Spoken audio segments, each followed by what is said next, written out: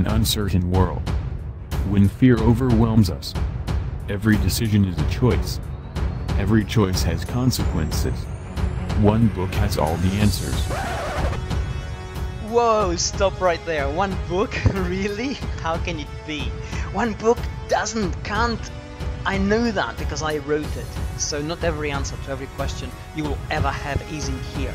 But if you're wondering just what you need to do in order to be more focused, intentional and effective in your life, if you want to know how to mitigate the uncertainty that we all naturally feel and how to make better decisions, then this is a really good start.